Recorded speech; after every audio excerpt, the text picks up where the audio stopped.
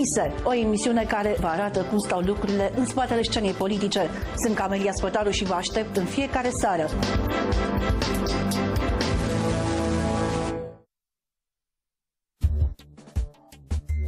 Somnul rațiunii naște monștri. Iată de ce vă îndemn la veche. Lumea nu e doar albă, nici numai neagră, așa cum mulți vor să vă convingă. Pentru a descoperi infinite nuanțe, vă invit în spațiul de veche, la ora de veche. Ora de veche cu Nicoleta Savin la Giga TV. Gândim altfel.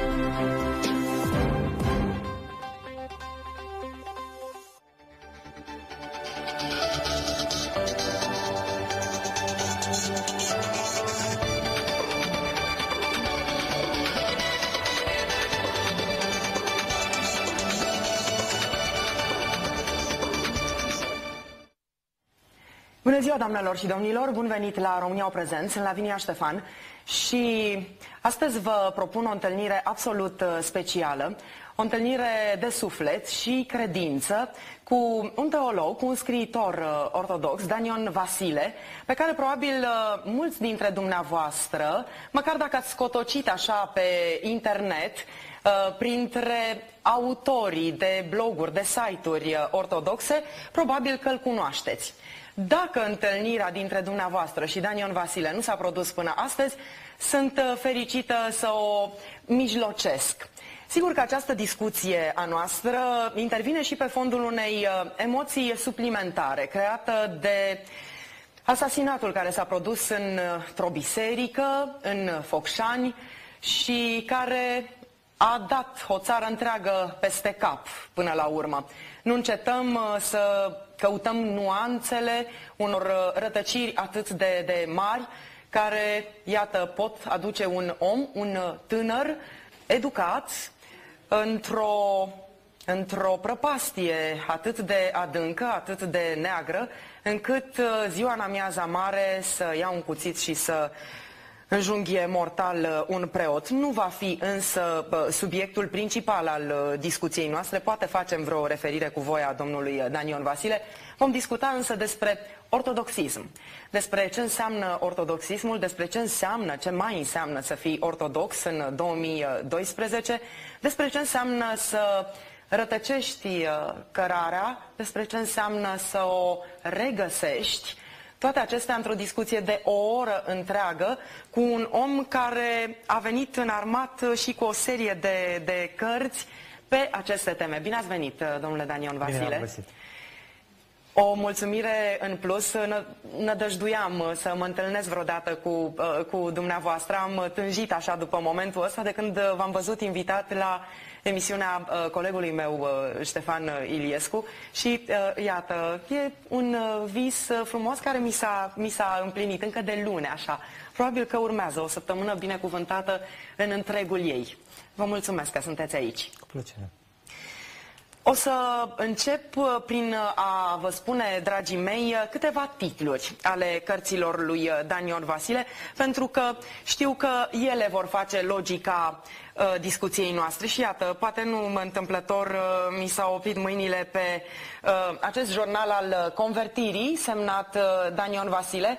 Nu ne ajunge o oră să spunem povestea unei convertiri care s-a scris, s-a spus probabil că singură la vremea ei uh, în câteva sute de pagini. Deci avem aici acest jurnal al convertirii pe care vi-l recomand din toată inima. Uh, biserica și dușmanii ei, Urmează să vorbim uh, despre acești dușmani, domnule Danion Vasile, care or fi dușmanii bisericii. Duhovnicul, postul, rugăciunea, o carte care ne poate prilejui întâlniri frumoase cu noi înșine și cu cele care sunt uh, deasupra noastră.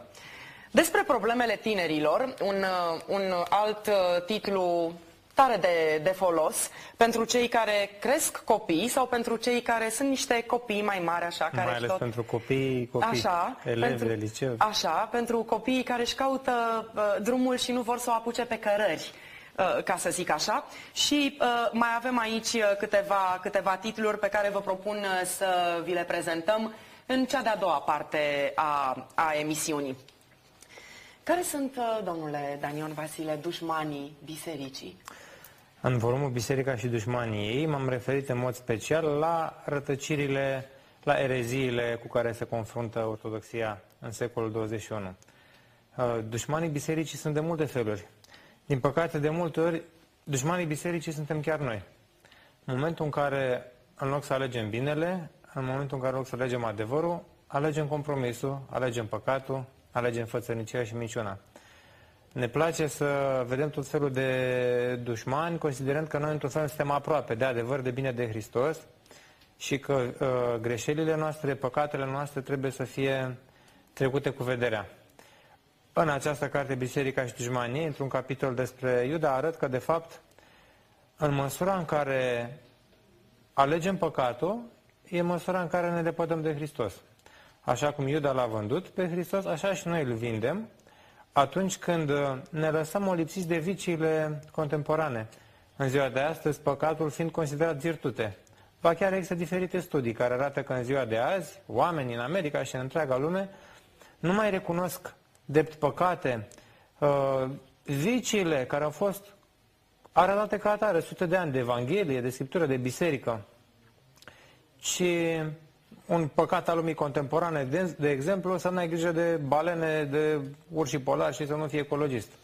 În timp ce a desfrâna sau a face păcate împotriva firii sau a minți, e o chestie de trecut cu vederea, pentru că în zodia compromisului, în care compromisul e urcat pe soclu, nu e nicio problemă dacă faci tu compromisuri. Așa este și m, vă dau uh, totală dreptate, chiar personal am trecut prin situații în care am văzut multe sprâncene ridicate așa, când, uh, eu știu, nu m-am raliat la uh, vreo cauză, precum a fost uh, cea pe care ați dat-o dumneavoastră drept uh, exemplu. Da, pentru că avem Probabil noi trebuie standarde. să și căutăm acele cauze bune care să ne ajute să ne clădim uh, sufletul și să clădim și pe lângă noi, în sufletele celorlalți, o înălțare. Este și lipsa de căutare uh, un păcat? Căutarea drumului drept, al acelui drum îngust? E păcat pentru că de obicei alegem să căutăm drumul spre adevăr tocmai datorită faptului că avem intuiția că ne va pune frână. În momentul în care vorbești de salvarea balenelor, nu e nicio problemă. În momentul în care vorbești, de exemplu, că în China, nu cu multă vreme în urmă, o tânără a fost pusă să avorteze copil în